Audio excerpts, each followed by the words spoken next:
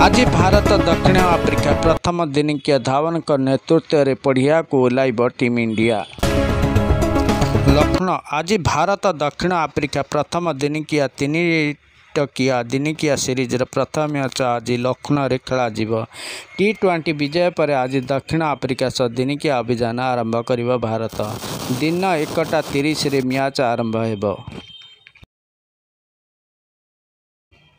शिखर धावनको नेतृत्वले पढियाक ओह्लैब team India भारतीय दलहरू धावनको व्यतीत सञ्जु सामसन सुमन गिल, सेयर आयर इसान किसन दिपक चहर, महम्मद सिराजको भिडियो खेलाडी रह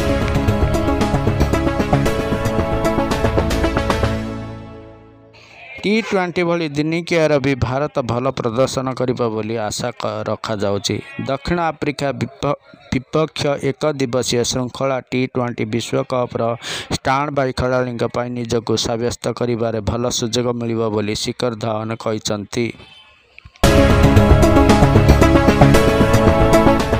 ସେପଟେ ଟି ଟ୍ୱେଣ୍ଟି ବିଶ୍ୱକପ୍ ପାଇଁ ଅଷ୍ଟ୍ରେଲିଆ ଗସ୍ତ କରିଛି ଟିମ୍ ଇଣ୍ଡିଆ ରୋହିତ ଶର୍ମାଙ୍କ ନେତୃତ୍ୱରେ ଚଉଦ ଜଣିଆ ଟିମ୍ ଅଷ୍ଟ୍ରେଲିଆ ଯାଇଛି ଆସନ୍ତା ଷୋହଳରୁ ଆରମ୍ଭ ହେବାକୁ ଥିବା ଟି ଟ୍ୱେଣ୍ଟି ବିଶ୍ୱକପ୍ରେ ଭାରତ ତା'ର ଅଭିଯାନ ଅକ୍ଟୋବର ତେଇଶରୁ ଆରମ୍ଭ କରିବ